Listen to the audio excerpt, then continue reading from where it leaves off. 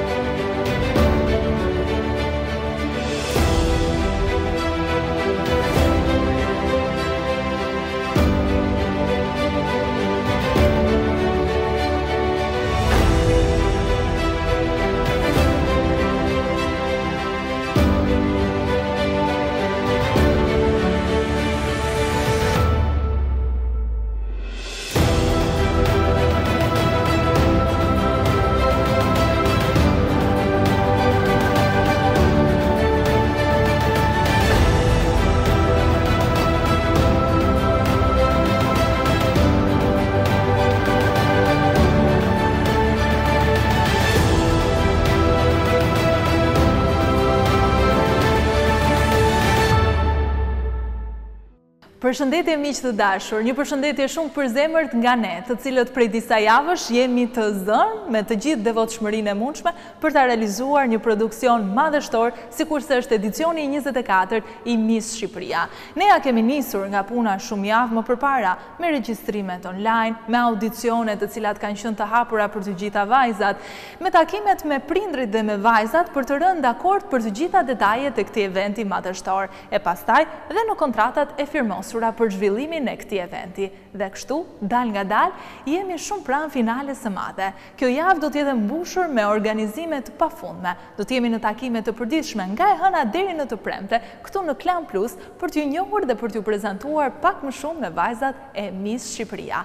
E, të gjithë ju që na ndiqni në Instagram, faleminderit, një falenderim i përzemërt nga zemra. Jemi më shumë se njëqind mijë ndjekës në Miss Shqipëria. Dhe, nëse ke padurim për të njohur vajzat e Miss Shqipëria, atëherë shko dhe vizito Instagramin tonë. Me video të shkurtra, Ti mund të kesh mundësinë t'i njohësh ato një dhe nga një. E, nëse do t'i njohësh pak më shumë se sa vetëm një video e thjeshtë në rrjetet sociale, atëherë ky është vendi i duhur. Çdo ditë ne do të kemi mundësi t'ju prezantojmë me mendimet e vajzave, jo vetëm me atë që duket, por edhe me atë që ato janë. Sfidat do t'i presin vajzat në takimet tona. Ia nisim kështu me prezantimin e parë për pesë konkurrente të Miss Shqipëria. I shohim së bashku. Unë po i afrohem.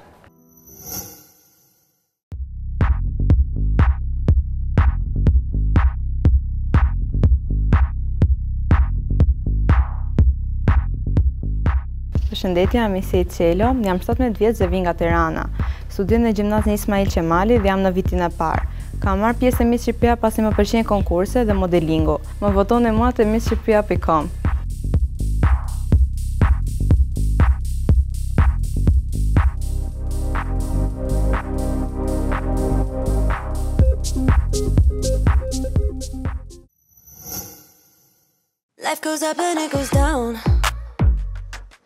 I know my mom taught me that I figured why we fool around So little And we keep track of time Unë quhem Egi Muka dhe jam 20 vjeç. Vij nga Tirana dhe studioj për gazetari.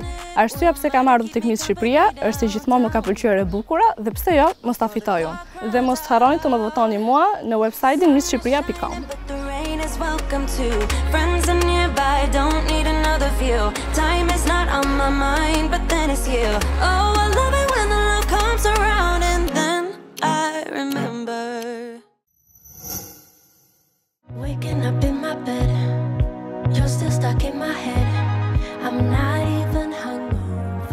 Përshëndetje, unë quhem Iser Xhingi, jam 16 vjeç dhe vij nga qyteti i Beratit, studioj në shkollën Zyhdi Toska.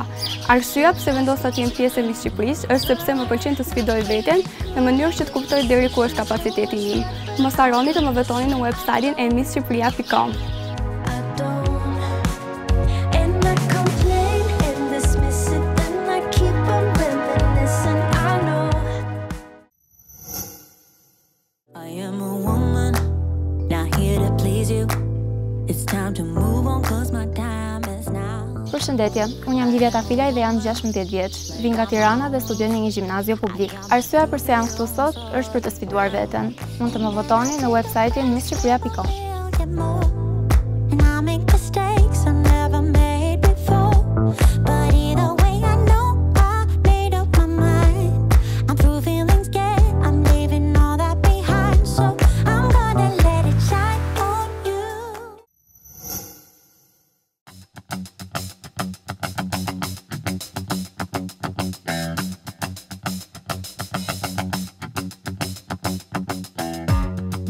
Përshëndetje, quhem Drita Ziri, jam 17 vjeç dhe vij nga qyteti i Fushë-Krujës, por studioj në Tiranë në shkollën e baletit. Baleti është një pasion që e kam nisur që e vogël dhe vazhdoj ta ushtroj akoma dhe tani. Kam hyrë në Miss Shqipëria për të pasur një eksperiencë të mrekullueshme për të folur për të në të ardhmen dhe votoni për mua në misshqipëria.com.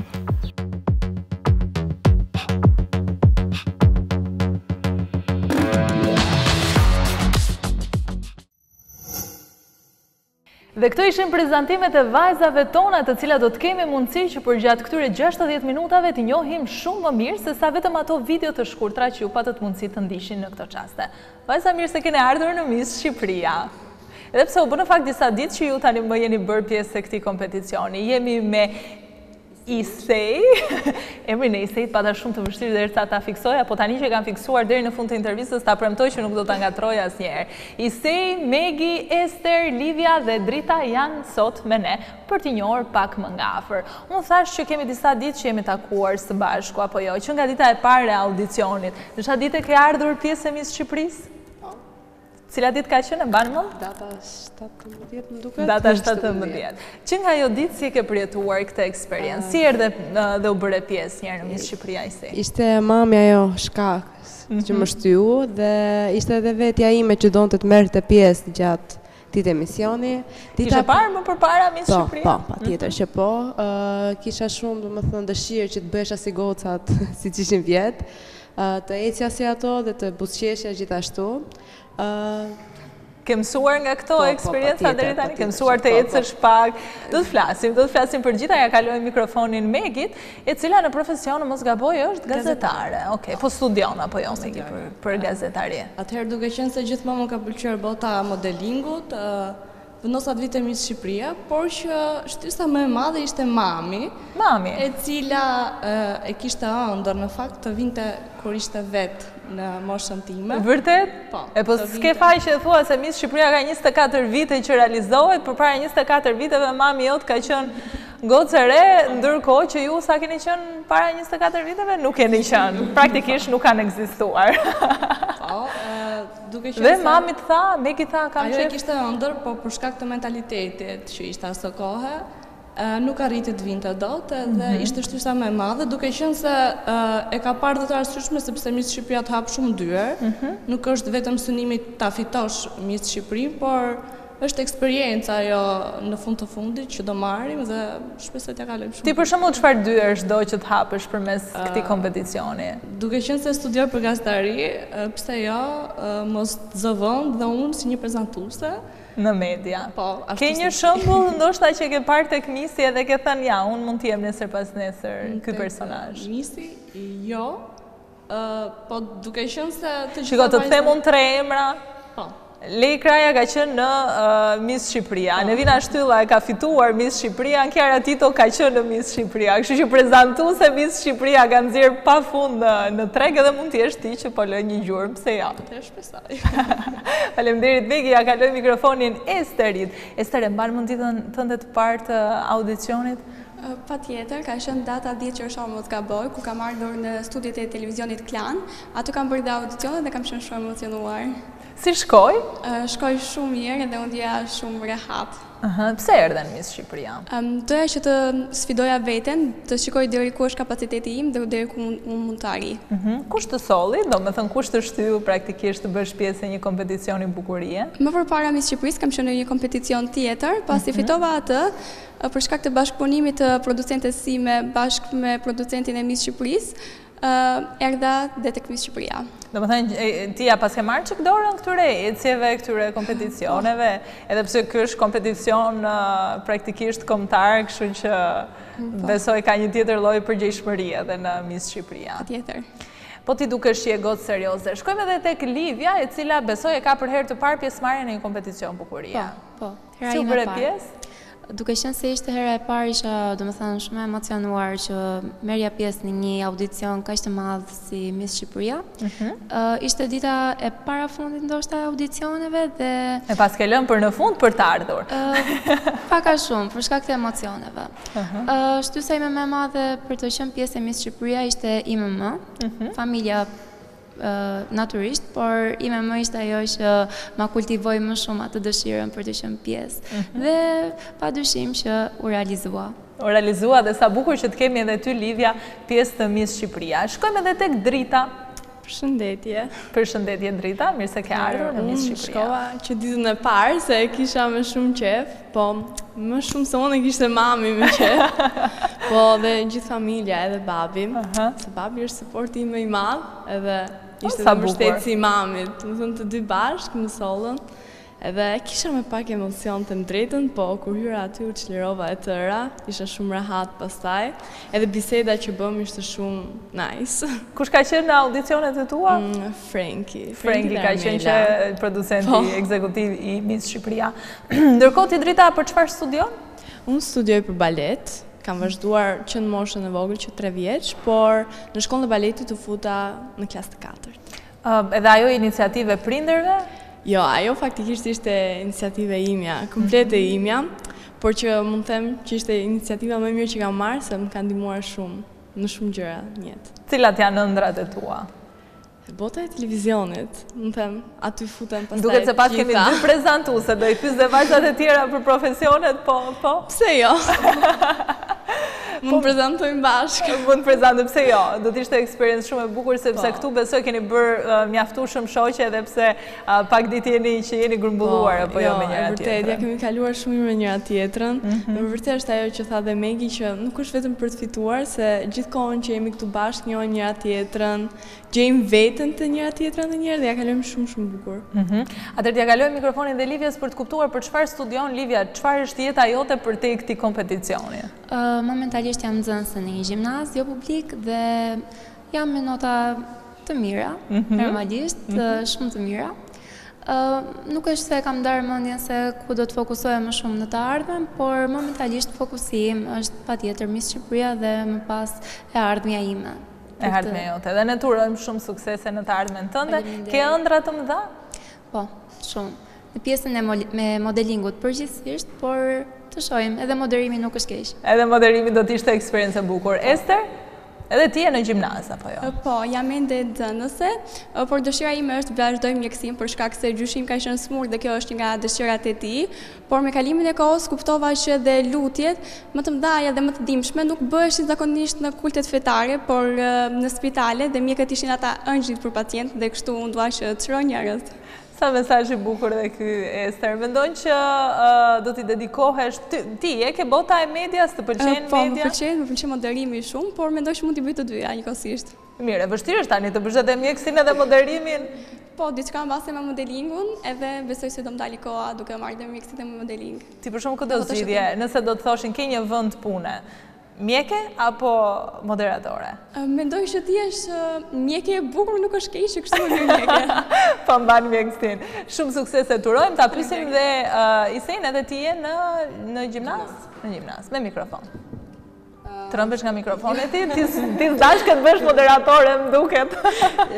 S'është se e kam dëshirë të madhe, thjesht modelingun po, e mhm. kam dëshirë. Dhe unë siç janë dhe gocat, jam nxënëse akoma në gjimnaz. Mhm. Nuk e kam menduar siç tha dhe Livia për ça do vazhdojë, por që për modeling besoj. Ke një modele të preferuar shqiptare se nuk është një botë shumë e zhvilluar në Shqipëri? Jo, të them të drejtën jo. Nuk ke një të preferuar. Po jashtë? Jo. Nuk ke. Thjesht e dua që të pëlqen origjinaliteti jot. Bukur. Edhe ky është një mesazh shumë i bukur që vajzat e Miss Shqipëria po japin në këtë çast dhe në këtë takim tonin të parë teksa po i njohim Dhe po presim edhe spektaklin e madh. Spektakli i madh do të zhvillohet për ta rikujtuar në datën tre korrik ne do të jemi në Porto Palermo, po i afrohemi dalëngadalë finales, dhe me siguri emocionet shtohen vazhdimisht. Meqenëse po flasim për emocione unë dua t'i pyes pak për momentin më emocionues që keni kaluar deri më tani në Miss Shqipëria. Nëse flas unë, ka qenë momenti kur ishin audicionet e Miss Shqipërisë. Në fillim fare isha shumë emocionuar pasi, po pasi bëmë bisedën, mm -hmm. u çlirova pak dhe thjesht vazhdova të isha vetvetja. Mm -hmm. E kaloj mikrofonin tek Megi. Uh, atëherë momenti më emocionues ishte Isha shumë sëmurë edhe më morën në telefon, nuk e prisja realisht telefonatën, jo që nuk kam vetëbesim tek vetja, por mhm. thjesht nuk është që isha e përgatitur. Më mori Frengi në telefon edhe isha shumë e lumtur, u gëzova shumë, qava. Edhe edhe mbeti besoj një gjurmë e bukur po, në në kujtimet e tua tani. Pastaj shpresoj që T'i jap fund me një emocion më emocionues. Sesa ky që kalove deri më tani. Edhe ne urojmë që ti të dalësh me kujtime sa më të bukura nga kjo eksperiencë. Momenti më emocionues kanë qenë audicionet, gjithashtu edhe njohja me vajzat, me vajza të reja që më përpara nuk i njiha dhe besoj që edhe emocione akoma më të mira do të vijnë gjatë kësaj eksperience. Absolutisht. Këtë jua garantoj vajza deri në fund, se tani ndoshta duken edhe klishe këto fjalë, por deri në fund, deri në spektaklin e madh, Kam parë shumë emocione nga të gjitha vajzat në këto tre vite që e prezantoj. Ky është viti i katërt, me siguri do shoh emocione shumë të bukura. Livia, për ty, cili ka qenë emocioni më i bukur? Të mos dal edhe unë në përsëritje me gocat, por dhe për mua ka qenë audicioni dhe më shumë pjesa kur jam telefonuar që jam përzgjedhur për në Miss Shqipëria. Ku ishe në ato çaste? Unë kam qenë në shtëpi, kam qenë vetëm dhe të them të drejtën ishte më mirë që isha vetëm, që e përjetova pak më shumë edhe mbajta pak më për vete. Por që ditën tjetër pastaj e ndava dhe me familjen, normalisht. Kush ishte telefonata e parë që bëre? Nuk është se bëra ndonjë telefonatë, domethënë ishim në familje duke ndejtur dhe unë që isha kështu, kam një lajm të bukur për t'ju thënë, dhe pastaj që e ndava me të gjithë. Besoj të gjithë gëzuan shumë në ato momente. Drita?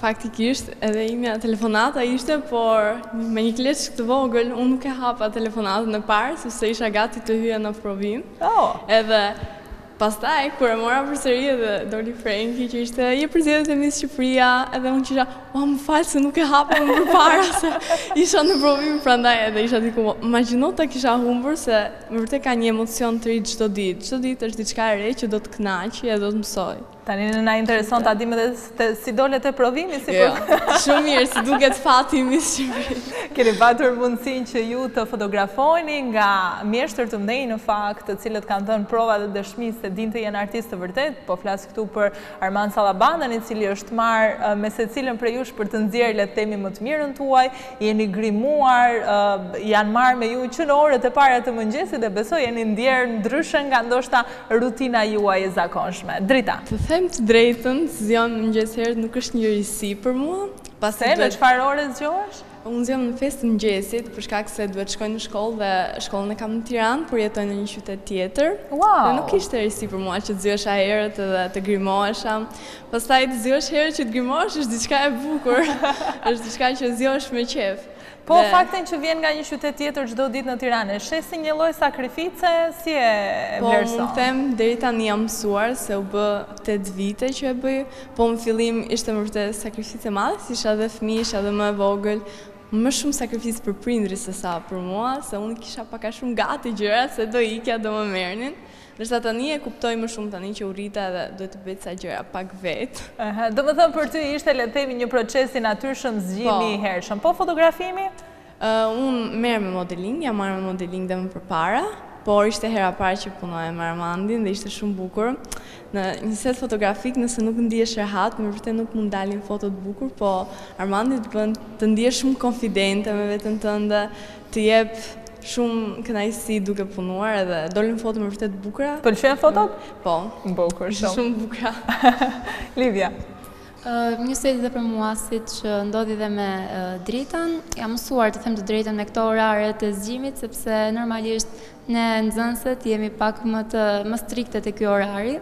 Për shkë, domethënë, pjesa tjetër pastaj e fotove me Armandin ishte Shumë shumë mirë, ishim shumë komode, ndiheshim shumë në rregull, të paktën unë u ndjeva shumë profesionale në mënyrën se si Armandi punonte dhe nuk është se ka qenë hera e parë që jam fotografuar, por aty u ndjeva shumë e veçantë. Shumë e veçantë. Po për ty Ester ka qenë eksperienca e parë në fotoshooting? Fotoshooting po, ka qenë eksperienca e parë, ndërsa për sa i përket pjesës të fotove, jam shumë fotogjenike dhe më pëlqen të bëj foto.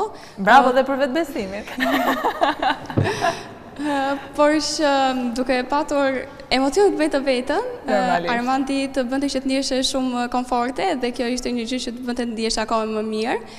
Pastaj patëm edhe fatin që të grimoheshim nga profesionistë. Sikurse është Lela po. Salon e cila është marrë edhe impenjuar me ju. Po, që në mëngjes u zgjuat për grimin shumë më thanë të pak. Po, është shumë herët në mëngjes, por që nuk e kam problem për shkak se më është bërë rutinë nga zgjimi i herët në shkollë për ripërsëritjen e mësimeve. Ishit tek Akademia e Hipizmit, apo jo, ku po. i realizuat fotot. Kishit qejf të provonit kalërimin, apo ndoshta ishte një eksperiencë që Po, e kishim, unë personalisht për shembull kisha shumë dëshirë, por nga emocionet që kisha atë ditë e kisha më shumë mendjen tek fotoshooting. Te netët e klipit unë e di se çfarë kam hequr. Pse po qeshe ti Megi? Po e pyesje për kalorimin, por në fakt ne ishim shumë përgjumur, se ishim zgjuar herët. Në çfarë ore jeni zgjuar ekzaktësisht? Në 5 ishim tek Lela Salon. Oh, wow. Që jeni zgjuar me natë, i thonë kësaj. Po. Por ia vlen. Si e përjetove? E ke provuar ndonjëherë më përpara? Po, unë merrem me modeling, mhm. edhe nuk ishte hera e parë, impakti me kamerën më pëlqen shumë, sidomos me videot, sepse besoj se ia bëj edhe më të thjeshtë, pasi Jam marrë, bëj më shumë xhirime me video, ndërsa fotografia më pëlqen shumë, por besoj që nuk arrij ta përcjell të gjithë atë personalitetin tim nëpërmjet fotografisë. Mhm. Për mua ishte hera e parë që merresha me grim dhe me fotografi, U çova herët në mëngjes, po dhe siç thanë dhe gocat është bërë një rutinë për ne pasi jemi nxënëse dhe duhet të mësojmë, të çohemi herët për shkollë. Uh, siç tha dhe goca Armandi gjithashtu uh, ishte një moment kur ishe në ankth ose në stres, Armandi të bënte të qeshje dhe ndjeshe shumë komode, mm -hmm. shumë konfidencë pranë tij dhe mm -hmm. fotot dolën perfekte. Ndërkohë jeni shoqëruar gjatë gjithë kohës nga produksioni Blueberry që uh, ju kanë ndjekur në video edhe videot që ne i transmetuan vetëm pak më parë, në fakt kanë qenë realizime të tyre. Tani unë pashë që aty keni prezantuar veten. Më tregoni të vërtetën, sa dubla keni bërë për të dalë në finalen që ne pamë në hapje të programit? Besoj se pesë deri në gjashtë. Pesë deri në gjashtë dubla, Megi? Në fakt për mua nuk ishte një ditë e mirë, sepse isha sëmurë, por që... Më sa duaj fare më duket. por që isha shumë e lumtur sepse më kuptua, nuk u lodhën aspak, u morën me mua, më dhanë kohë në duar dhe përfundimi që pashë videon, isha shumë e lumtur, thashë wow, domethënë atë gjendjen time që isha dhe puna që kishte nxjerrë ishte perfekte. Të pëlqeu po. shumë. Ester për ty? Për mua, ne, unë personalisht, bëra dy dubla mos të gaboj, pasi më pëlqen që të flas edhe ishte e lehtë si gjë. Ishte e lehtë, e përjetove bukur. Livia, po ti? Se të flasësh para kamerës, jo të gjithë e kanë të lehtë. Unë së paku i kam bërë dhjetë dubla, isha shumë e emocionuar atë ditë dhe kisha marrë pak me stres të them të drejtën, por e kalova si fazë dhe ia dola. Të pëlqeu në fund vetja se ajo është e, po, rëndësishme. Më pëlqeu shumë edhe kombinimi në atë video ishte fantastik. Aha, Drita po për ty si ka qenë si eksperiencë? Atë ditë ishte ditë e mirë për mua, besoj se vetëm 3 dubla bëra, por në Color Day Festival, pas festivalit ne bëmë disa intervista të vogla. Dhe nuk e di, besoj ngaqë u kënaqëm shumë edhe kënduam shumë, ishte e pamundur për mua që të bëja një intervistë mirë, kështu që aty besoj bëra disa dubla. Aty bëre disa dubla. Megjithatë, në foto shooting duket se çdo gjë ka shkuar në mënyrën më perfekte të mundshme dhe montazhierja jonë Sani Meta ka sjellë një video titulluar Vajzat në foto shooting, emocionet e të cilave, siç i përcollëm në bisedën me vajzat tona tani, do t'i përcjellim edhe përmes videos që do të ndjekim në këto çaste. E shohim së bashku.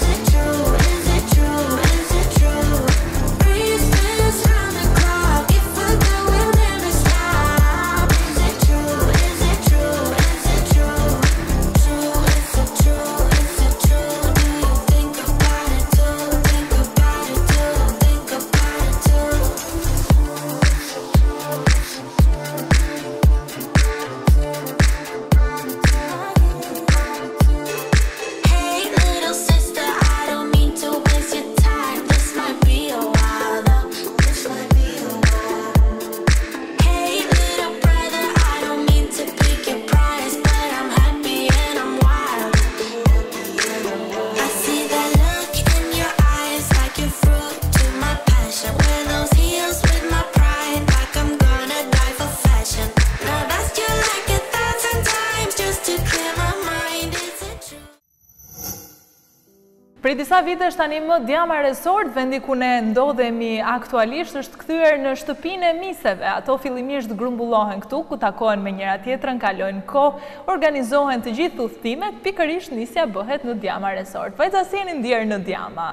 U bënë disa ditë tanimë që ju keni kaluar këtu. Si po ju duket i gjithë resorti? Është me të vërtetë një vend shumë i bukur, nga të hedhësh sytë, të kënaqen sytë se është aq bukur, edhe dhomat janë të mrekullueshme, me gocat ia kalojmë shumë bukur, ka vend boll për të gjitha. Dhe, dhe sidomos për foto Instagrami. Po, po, ajo është, ajo është një nga temat më të rëndësishme, domethënë, i kemi gjetur vendet tani edhe Thjesht do të caktojmë ditët kur të bëjmë fotot. Tani vetëm po e shijoni praktikisht këtë këtë po. eksperiencë. Përveç shijimit të kësaj eksperience ka sakrifica, për shembull bëni ndonjë çik palestër, bëni Isej po qesh, se kemi bërë një bisedë, po po e lëmë sekret, Isej nuk po i themi të gjitha. Uh, do dikush të shtojë diçka për Diamën, si jeni ndjerë, si po e përjetoni, po Livia?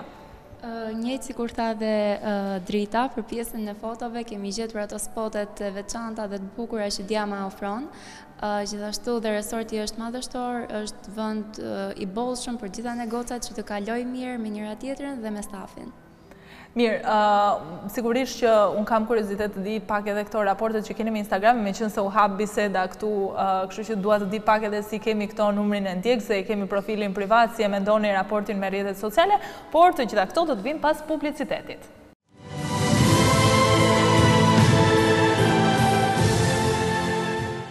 Jemi në pritje të Miss Shqipëria në datën tre korrik në finalen e madhe të gjitha vajzat do të kenë mundësi të parakalojnë dhe ju mund të votoni të preferuarën tuaj sepse do të keni mundësi që të zgjidhni një nga vajzat të cilat do të bëhen pjesë e dhjetëshes së finalisteve nëse votoni në Miss Shqipëria pikë kom është websajti ynë zyrtar aty ku edhe ti që po na ndjek në këto çaste mund të japësh votën tënde për të dërguar një nga vajzat automatikisht në top dhjetëshen e finalisteve. Thënë kjo, ne i rikthehemi bisedës, jemi duke prezantuar në këtë takim tonin të parë pesë vajzat, pesë nga pjesëmarrëset, të cilat janë pjesë e konkurimit në Miss Shqipëria. Kemi patur mundësi t'i ndjekim përmes videove të shkurtra, kemi bërë biseda ndoshta interesante, të paktën si unë e kam shijuar deri më tani më janë dukur shumë të këndshme në gjithë se çfarë prezantojnë, do t'i vendosim pak në vështirësi vetëm pas pak, do të kemi dy sfida për vajzat. Një sfidë është shumë interesante dhe besoj se tregon shumë për kapacitetin e tyre për t'u prezantuar bukur tek publiku. Do të kenë vetëm gjashtëdhjetë sekonda mundësi t'i përgjigjen një pyetje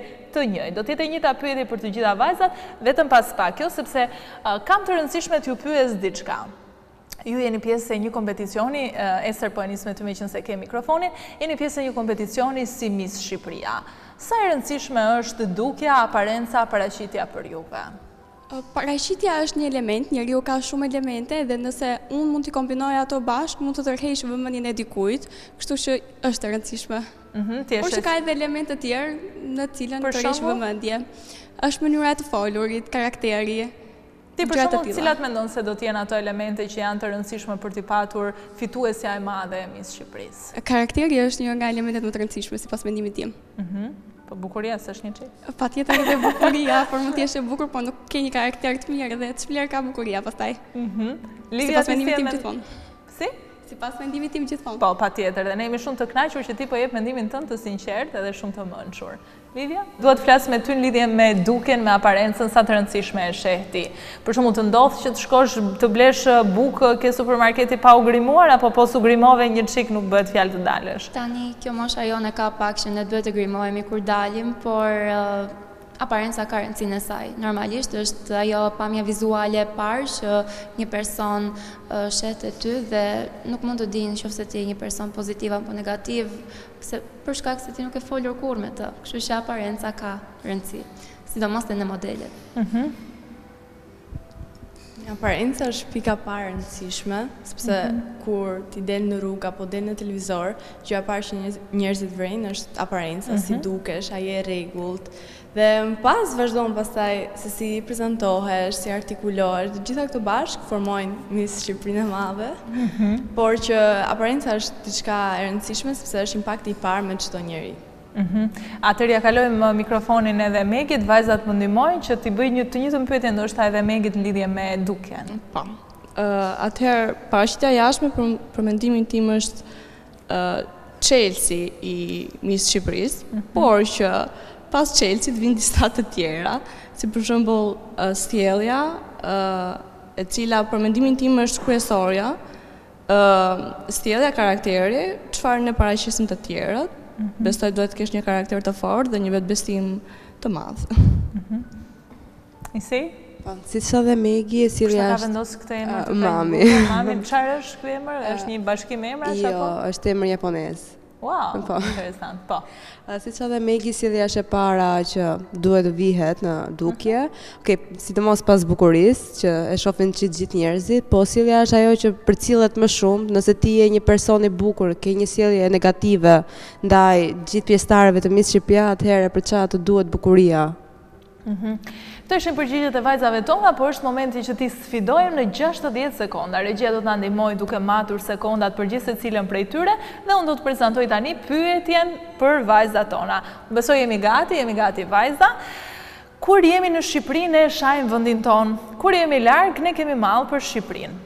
Unë dua nga vajzat argumente se pse Shqipëria është vendi më i bukur në botë.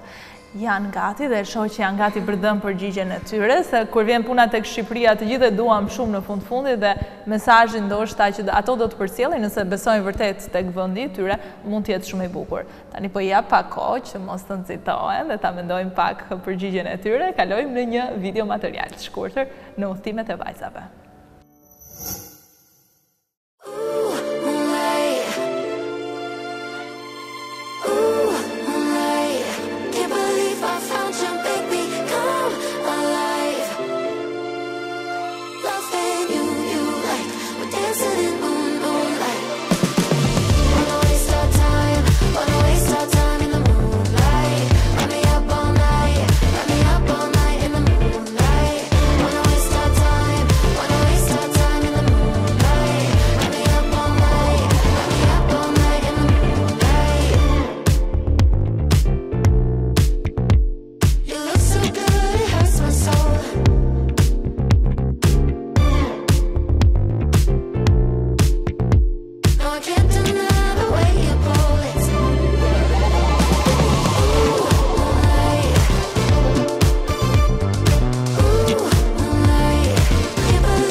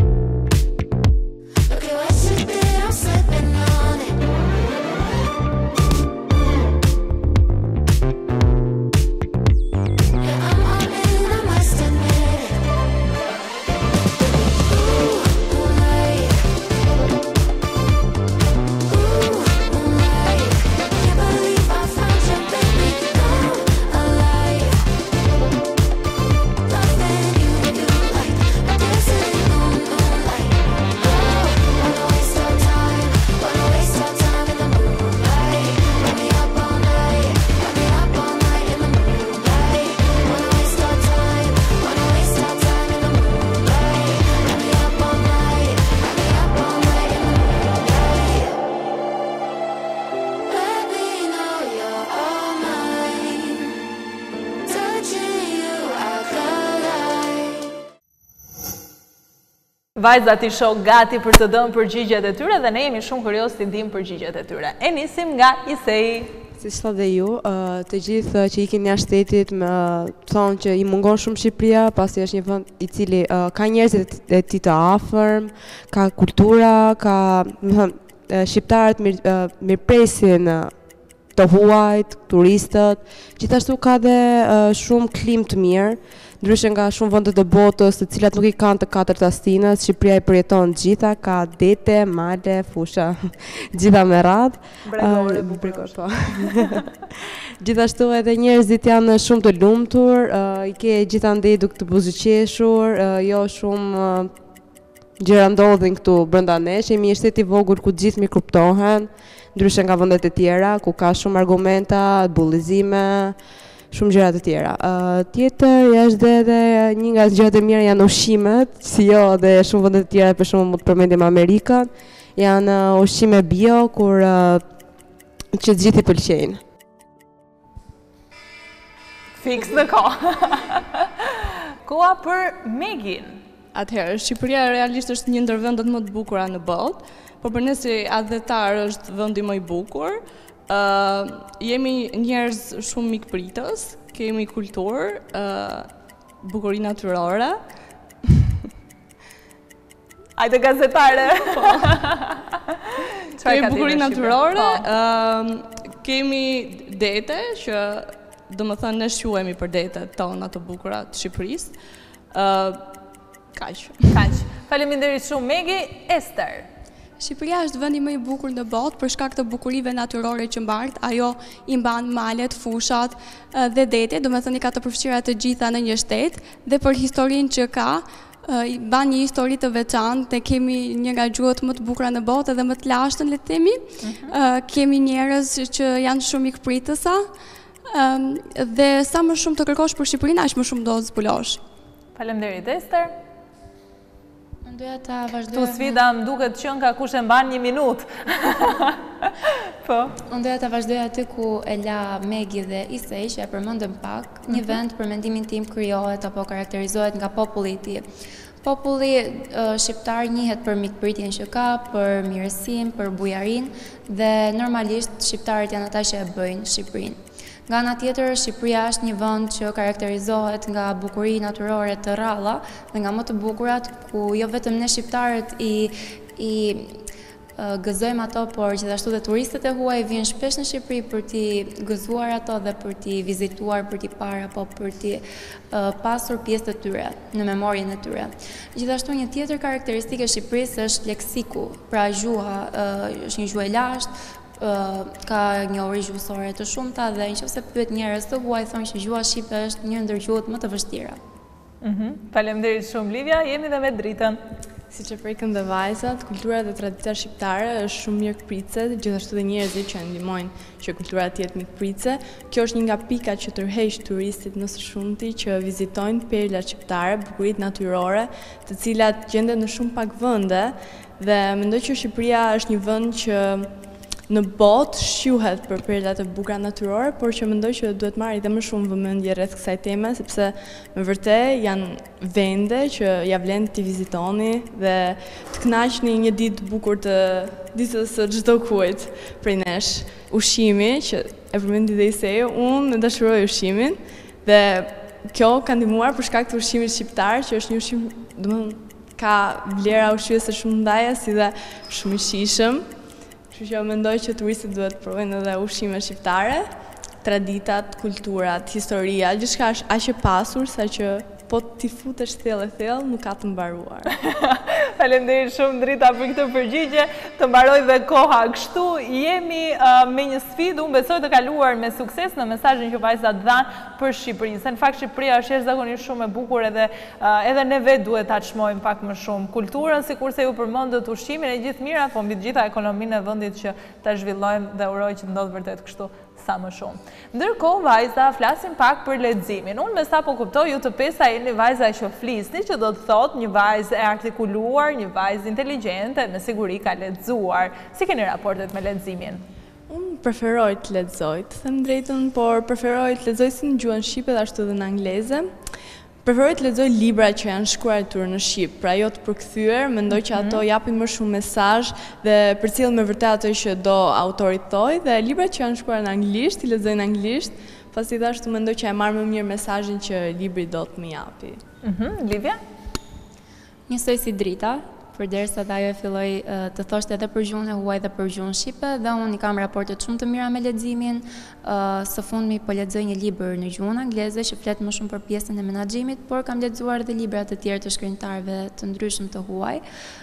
Platformat ku unë lexoj zakonisht janë librat, sepse ato janë ajo mënyra tradicionale që ne jemi mësuar të lexojmë, jo vetëm në shkollë, por edhe jashtë saj. Por së fundmi kanë ardhur edhe, domethënë me përditësimin e teknologjisë ka ardhur dhe për shembull e-book apo platforma të tjera ku ti mund të lexosh apo të downloadosh një një libër. Ester. Raportet e mia me leximin janë tepër të mira. Periudhën e verës unë e kaloj duke lexuar, kështu që edhe verën e kaluar lexova pesë romane për dy muaj e pak sa bëra pushimet për shkak se m'u desh të mësoja edhe një gjuhë të huaj, më pëlqen të mësoj gjuhët e huaja. Cilën gjuhë? gjuhën gjermane. Oke. Dhe momentalisht... Normalisht, mjekësia, Gjermania, na lidhen. Jam duke lexuar një libër, lexoj shpesh dhe pasi kjo më ndihmon që të artikuloj më mirë. Edhe duket dhe rezultatet, Ester, po Megi. Mua më pëlqen shumë të lexoj, po duke qenë se nuk është që kam realisht shumë kohë, mundohem të shikoj më shumë, gjëra që kanë në botë librin, mhm. Librat kur i lexoj, domethënë mundohem që të futem në botën e tyre dhe realisht të kuptoj çfarë ai do të transmetojë te ne. Kështu që mendoj që duhet të lexoj më shumë. Duhet të lexoj më shumë. Me këtë mesazh e mbyll dhe Megi, jemi ke Isej. Unë i kam marrëdhëniet shumë të mira me librat, momentalisht kam marrë edhe një libër këtu me vete dhe po e lexoj gjatë kohës që jemi në dhomë. Cilin libër? Uh, Gjuetari i balonave. Oh, është po. Ma ka sugjeruar mami dhe një pjesëtare e stafit dhe thjesht e mora me vete që ta kaloj kohën këtu. E di më kanë thënë shumë. Jo akoma, tash e kam nisur jam te 50 faqet e para. Libër shumë i mirë ai edhe për moshën tënde shumë interesant. Bukuroshet tona patëm mundësi t'i njohim dhe në fakt menduam që i sfiduam pak, pastaj thamë pse mos t'i sfidojmë dhe pak më shumë. Asistentet më sjellin pikërisht sfidën e radhës. Shyqyr Zotit nuk do gatuajmë, por do të kemi një sfidë shumë interesante. Sa të afta janë ato të mbajnë ekuilibrin? Loja do të konsistojë në vendosjen e vezës, ishalla nuk e thyej se është e Iseit, në vendosjen e vezës dhe mbajtjen e lugës nëpërmjet dhëmbëve dhe një piruetë në qendër të kësaj skene që ne kemi krijuar këtu në Diamma Resort. Kush do t'ia dalë mbanë me sukses nga ato, do ta shohim tani së bashku. Isej po ta jap ty dhe regjia do të na ndihmojë që ne të organizohemi.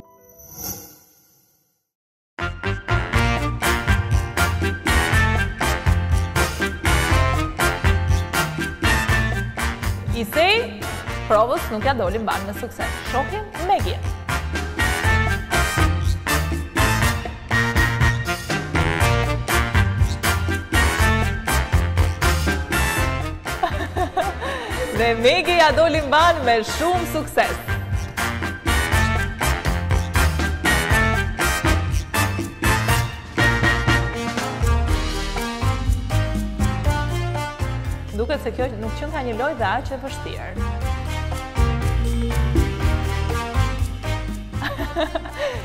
Janë dhe vajzat tona që janë të përgatitura me devotshmëri nga Olta Ahmetaj koreografe e cila merret dhe me provat.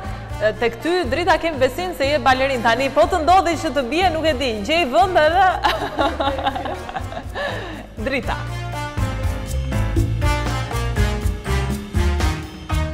Dhe Dritës i ra Dhe dy nga vajzat nuk ia dolën mbanë kësaj sfide, por sfida më të rëndësishme në fakt i presin deri në fund të rrugëtimit të Miss Shqipëria. E aty, duhet shumë punë, shumë vullnet për t'ia dalë mbanë, të bësh një paraqitje dinjitoze dhe pse jo, të aspirosh për kurorën e madhe të Miss Shqipëria dy mijë e njëzet e dy. Vajza, ishte një kënaqësi shumë e madhe që unë ju njoha nga afër dhe ju uroj shumë suksese në vijim. Besoj se kaluam shumë bukur.